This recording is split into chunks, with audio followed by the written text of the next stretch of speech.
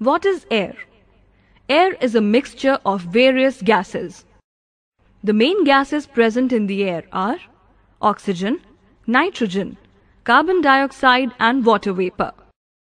Air contains about 21% oxygen. Oxygen is important for all living organisms. Both plants and animals make use of atmospheric oxygen in the process of respiration. We breathe in air rich in oxygen.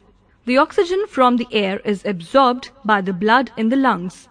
The hemoglobin present in the blood carries this oxygen to all parts of the body. This oxygen oxidizes the food in the body tissues and provides us energy to do work. Fish utilize oxygen dissolved in water. A person climbing on high mountains or a deep sea diver carries cylinders of oxygen with them. Nitrogen forms about four-fifths of the total atmospheric air. Nitrogen does not help in burning. However, roots of some plants like bean, pea and pulses have root nodules that bear some bacterial cells. These bacteria convert atmospheric nitrogen into soil fertilizers. This process is known as biological nitrogen fixation.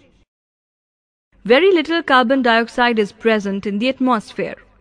All plants and animals give out carbon dioxide in the process of respiration. Let us perform an activity to check the presence of carbon dioxide in the air we breathe out. Take a test tube and add some lime water in it. Breathe out some air into the lime water with the help of a straw. The lime water turns milky.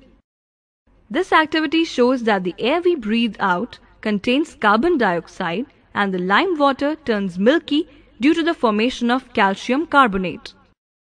On burning of coal and wood, carbon dioxide is produced. Plants use carbon dioxide in the process of photosynthesis. Carbon dioxide is also used in the making of aerated drinks.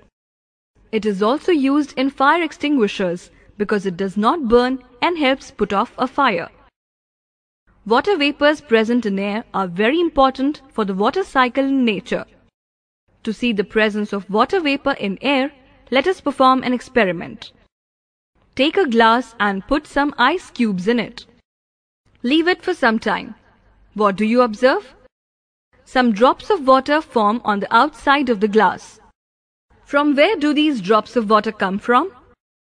Water vapors present in air when come in contact with a cold surface deposit as water droplets.